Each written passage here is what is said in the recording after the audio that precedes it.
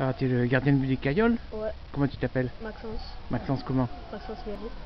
Maxence comment Méry. Méry Ouais. Il y a longtemps que tu joues gardien Ouais. Depuis quand Je sais pas, euh, Tout petit 5 ans, ouais. Ouais Comment c'était venu le- ta passion de faire Bah, gardien de mon père. Ton père il est gardien de but Il était Où euh, à Épinay-sur-Seine à Paris. Ah Paris, tu es parisien toi alors Non, moi je suis né à Marseille. C'est pas grave d'être parisien, c'est pas... Voilà. Et tu as toujours joué au Cailloles Ouais. Euh, non, je joue à Bonneveine et à, à l'OM avant.